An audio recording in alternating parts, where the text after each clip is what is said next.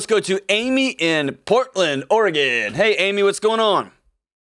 Hi, thanks for taking my call. Of course. Thank you for calling. The show would be really lame. It's a caller show. It would be really lame if people like you didn't call in. So, what's up? How can we help? Well, I'm calling because um, I've been married for um, over 15 years to a really wonderful man. He's kind. He's supportive. He's Can I faithful, stop? Can I just stop you? For Yeah. some reason, it doesn't work the opposite. It doesn't. Uh, it doesn't work when husbands call about their wives. When a wife calls about her husband and preps it with like ten different positive adjectives, I know something's coming. Yeah. So I've been married 15 years. He's wonderful and great. And what? and what? Just drop the other Um, shoe. Yeah, he. I'm. En- I am enabling him to continue to work part time, to be generally lazy, um, to not take care of me and his family, um, and to spend time on YouTube and re- listening to podcasts and and getting into so into politics and things that matter to him. But um, I just can't do that anymore, and I'm just wondering how do we move forward because I'm ready to do big drastic things that make him understand this isn't working anymore. Um, I don't I don't feel like we have grounds for divorce or anything like that, but I mean sometimes I think like do we separate our money now or do I move out so he can see that he is dependent on my money to keep doing these things and he needs to work and so I'm just I'm not really sure how to go forward with this. Whoa. There's so much here. Number one, you started the call with I'm enabling him. And so I want to, what's the right thing? I love that you are looking for the things that you can control. I don't know that you're enabling him because you're not his mom. And I know Hmm. that over the last 15 years, he has been way more like a child to you than your partner and your lover and your um, best friend, right? You've been his mom for a while. Is that fair? Yeah. Yeah. So, in that sense, I guess you've enabled him, but he's a grown man, right? And so you have almost 50. yeah, he's a grown Yeah. man via age. So maybe instead of enabling him, you have duct taped and nailed and and screwed this family together. You've held it down while you've got a um, loser of a husband in the next room playing video games or like learning the nest conspiracy theory. right. I don't know if that's enabling as much as you've filled in all the gaps because you're trying to keep your family together. Do you have little kids? We do. We have uh, two daughters, six and eight, who are even aware of this. I mean, they Jeez. ask me like, "How come you know? How come we don't do this? How come?" And I'm just like, "Because I'm the only one working full time." And and they're like, "What does that mean?" And how exactly. They're getting an extraordinary picture of what a uh, what a partner looks like in marriage, right? Yeah. What a great image for them to carry around when they start dating. Oh, this is Mm. what. Um, Jeez, you're gonna get me all. yeah, you're gonna get me all fired up. Yeah, yeah. Oh man. Okay, so you've talked to him about this before. What's he say? Why won't he get a job? Why won't he work? Why won't he turn the stupid computer off? Um, he he always says, "I understand. I I know that you're frustrated," and um, he he has typically had one or two part-time jobs, um, and sometimes they equal about you know a full-time amount of work. But just with COVID and other things like lack of ambition and initiative to keep his nonprofit going, um, it's kind of fizzled Oh out. Oh God, what And- nonprofit is it? Is this Um, some church-related thing? Yeah, it's a Christian ministry, and that's what's hard because It's not. No, I, like listen. It's not. I'm that. so sick of people using nonprofit Christian ministries to do nothing, to just sit there and be like, "Well, I'm just waiting for." It's it's it's an insult to. It's an insult to yeah. Christian faith. It's an insult to people who are out working 14 hours a day to help feed their families and help feed their communities and their neighbors. It's an embarrassment. It's shameful. Okay? And and yet in theory these things are great. Right? In theory they're going to help, but his is not helping anybody. Is it? not currently. No, it's not. It's not. It's not helping any. God, it pisses me off. Those things drive me crazy. No, I just want to. I just want to start. Go get a job. Go get a job and then take money and give it to homeless. Do that, right? Um, I just God's called me to quit everything and just um, for my wife to work full time while I sit here and surf the internet. And oh my, it makes me rage out. hmm So when you say you're about to do drastic things, what are you going to do? Well, um, about six months ago, I told him that I was going to leave if we didn't get a part-time job. Were you being serious or were um, you threatening? No, I was serious. I had told him I had shown him the places I was looking into, moving into. Why haven't you Um, I left had yet? Figured out, I had figured out a budget. I don't think you're Um, actually going to leave. I think you were threatening him. Like, well, you know that um, Tom at work thinks I'm pretty. What do you think? I, I- I think that's what you were doing.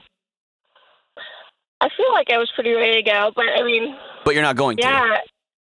Well, now I'm thinking um, about just taking my money that comes in from my job and just putting it into a different account. No, don't do that. Listen, if you do that, number one, you are modeling for your daughters what a strong, powerful woman looks like. And you would be choosing to disconnect your marriage even further under the same roof. Mhm. Don't do that, right? Don't don't heal cancer by shooting yourself in the foot. Okay, I won't do Does that make sense? Yeah, so I've got, I mean, I've had people from our church talk to him. Um, I don't, I don't know what to do at this point. Yes, you do.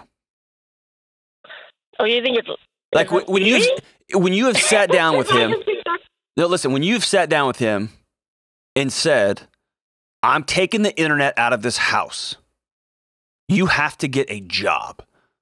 What does he say? Oh, I, I know, baby. I know. I'm just, uh, I'm, I'm working. What does he say? He he went out and got a part time job. That's bullcrap. Why won't he go get jobs?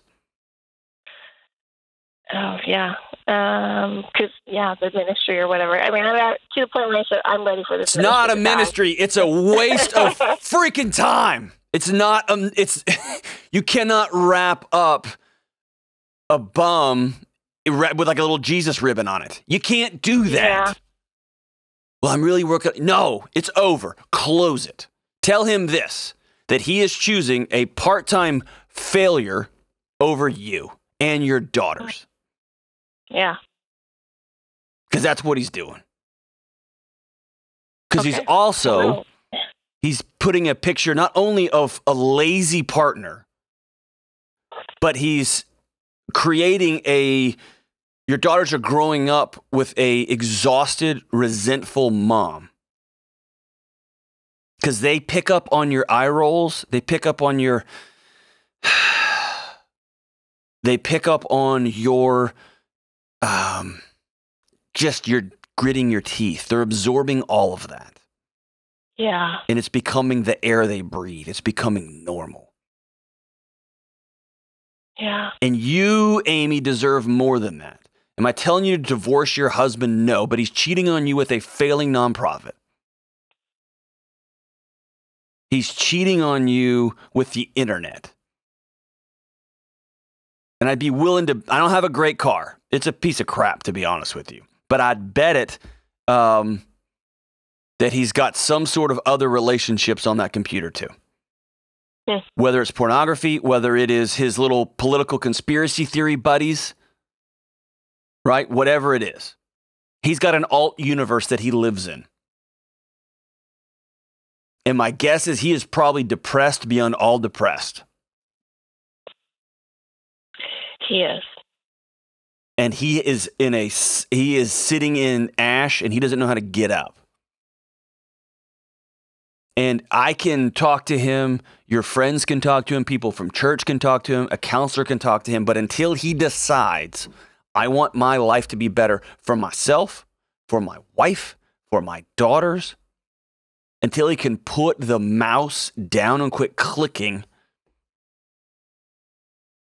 he's putting you in a position to have to choose the life of your daughters, to choose your life. Does that make sense? No, it makes perfect sense. So Yeah, I am I'm- not telling you to leave your I'm not telling you to leave your husband. Okay? I hate divorce. I'm high on marriage. I love it. But he's drowning your family.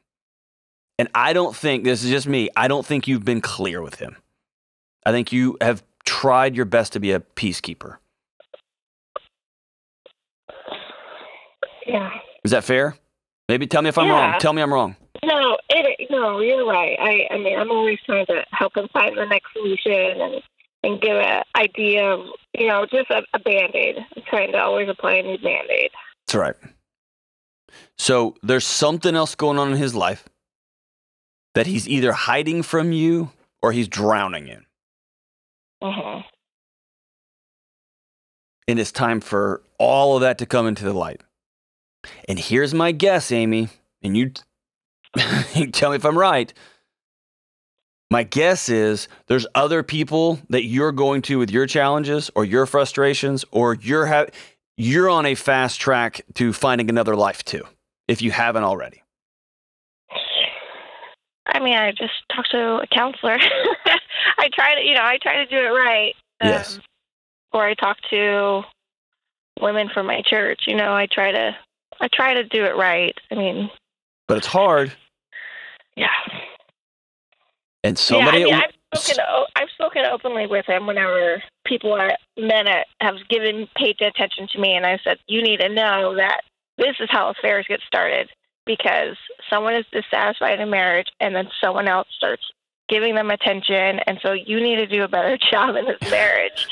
And he's and he's been very receptive to that and said, you know, I'm sorry, and things get better temporarily, and and so we're just always on this. It gets a little bit better, it goes back to normal. so you, and for- y- y'all are at it, you're drowning. Okay, that's like you find a hole in your boat and he puts a piece of duct tape over it, and you're drowning. Yeah. So all you got to rip the router out of your house. Uh-huh. I thought about that. Disconnect the internet today. Disconnect it. And tell him in my house and our house, we're not going to have internet. We're going to have each other. And you can tell him, I made an appointment at such and such family therapist. You're coming. And if you choose not to come, you're sending a very clear signal that you think this marriage is over. Yeah. And there cannot be ambiguity. There cannot be any more peacekeeping. There cannot be any more protecting his feelings because you are drowning. Like when you're a lifeguard and somebody's drowning, they will and they are, they will hit you, they will grab you, they'll drown you too. They will tell you to elbow them or punch them to get them to stop, so that you can get Yeah. both of you to shore. Okay, I'm not telling you to elbow or punch your punch him. What I'm telling you is you're trying to stay wrapped up with somebody who's drowning you, hmm right? Yeah. Okay, so all the lights come on tonight. All of them. Or you let him know tomorrow, I'm taking a half day of work. The kids are going to such and such, and we are having this conversation. And if you've got somebody that you trust, a counselor, you can have this conversation in front of them, great. It may be good for you to go to your counselor and say, I'm at my or what moment because I will not let my daughters grow up in this. I will not be held hostage by a waste of time, failing nonprofit that prohibits my husband from getting a job or from being a present father or for putting down stupid political crap and being present in our family. I will not be second rate to a YouTube channel and a whatever, whatever, whatever. And by the way, nonprofits are awesome.